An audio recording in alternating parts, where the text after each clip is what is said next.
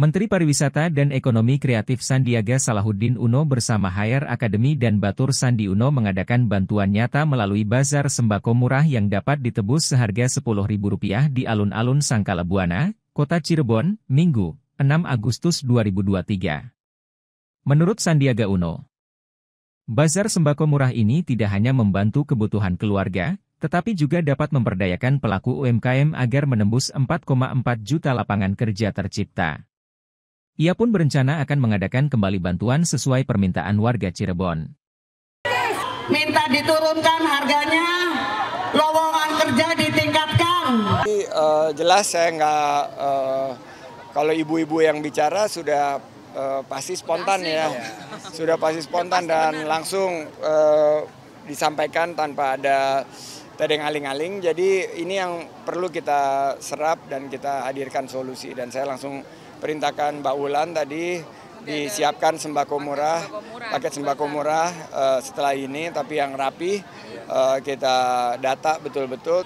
Uh, saya tanya tadi uh, pada mau semua, tapi semua mau, tapi nanti kita uh, lihat dulu, kita data yang sekarang yang disiapkan berapa? 600 packs. 600 packs ini kemungkinan kurang karena kurang permintaannya sih, banyak sekali. Iya, banyak dan uh, kita akan tambah sesuai dengan kebutuhan masyarakat. Dan tadi untuk lo, lo, uh, lowongan kerja agar lapangan kerja tercipta ini UMKM harus diberdayakan karena target kita tahun depan 4,4 juta lapangan kerja. Ya pemerintah harus hadir beri solusi. Saya melihat mereka apresiasi uh, bahwa pembangunan terus berjalan, pariwisata sudah bangkit ya Abah ya.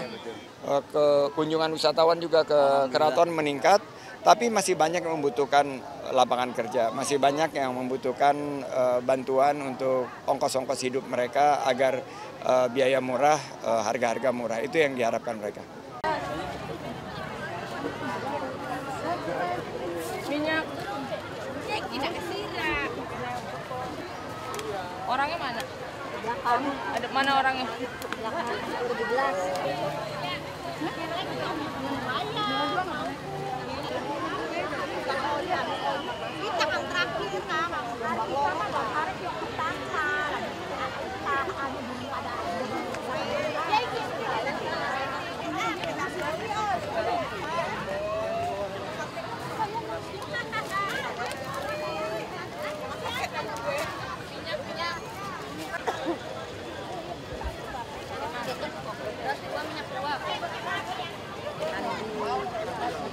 Atur Pak Sandi.